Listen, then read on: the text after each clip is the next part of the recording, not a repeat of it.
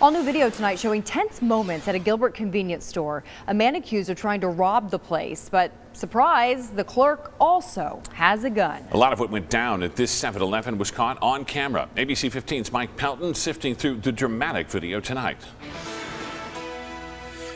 Somebody came into my store, tried to rob me. Now, That's the 911 call from November 15th when police say a man armed with a gun walks into the 7 Eleven near Elliott and Cooper and tries to hold up the store. Little does he know the clerk also has a gun. The camera's rolling as he chases the suspect outside. I shot him. I shot him. Where did you shoot him at? There's a behind the store when he started to turn.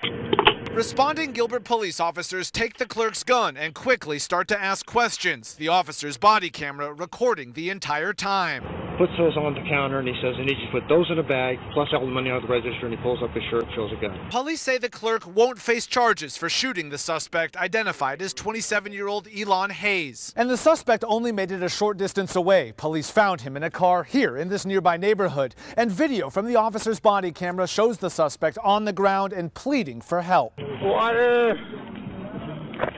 Water! Responding crews treat Hayes for his injury. Court documents show he later tells police the plan to rob the 7 Eleven was spur of the moment. But as surprised as the suspect appears to see the clerk grab a gun, that's not the only twist. Police say the gun they found in the suspect's car is an airsoft gun. I was in fear for my life already the whole, the minute he showed the gun.